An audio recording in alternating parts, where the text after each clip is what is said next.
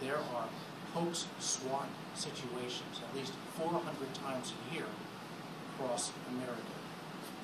And that is why I joined with my colleague Kathy Clark in the House of Representatives in introduction of the Interstate Swatting Hoax Act. And the essence of it is that when there is a false report that is intentionally designed to bring a SWAT response, that person can now be federally prosecuted for doing that. We actually enable today that to be done for a terroristic threat or for a bomb hoax, but this is a gap in the bill in the sense that you do not have the capacity today to federally prosecute. And somebody said, well, why do you need federal prosecution in this matter?